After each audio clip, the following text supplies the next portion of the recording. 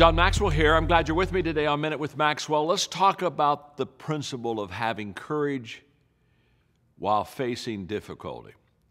Now, when I think of that phrase, courage while facing difficulty, I think that's the only time you need courage. I've never needed courage in facing something that was easy.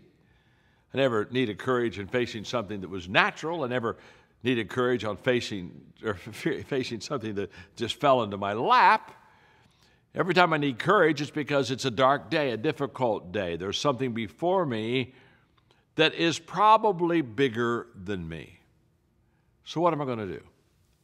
How do I get that courage? How do I, how do I face that thing that is before me that just intimidates the heck out of me?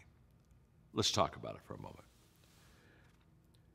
The first thing I want to talk to you about courage is this that you will never get rid of fear.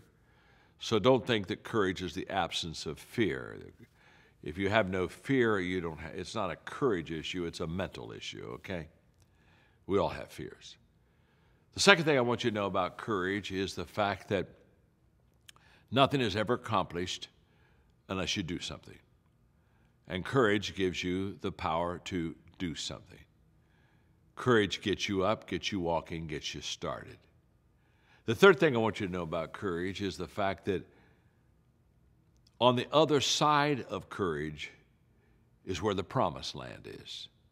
In other words, the best things for you aren't on this side of courage, they're on the other side. You've got to go through that door. It's on that other side that you find the yeses of life. It's on that other side that you find the promises of life. It's on that side that you find the benefits of life. In other words, life is composed in this way, my friend. You have to pay a price before you get the goods. It's just the way it works. And any time you get the goods without paying the price, you begin to get a spirit of entitlement which will hurt you instead of help you.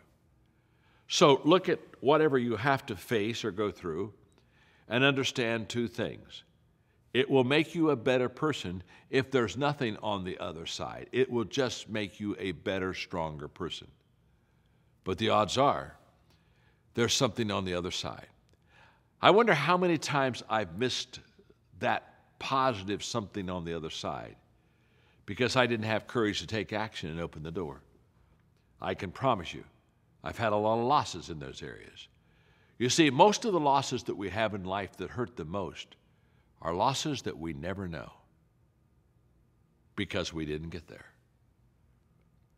So I would encourage you the next time you see something before you that's formidable, big, intimidating, do it anyway.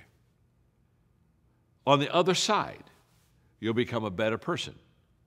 And perhaps on the other side, you'll find the rewards of going through that door of courage.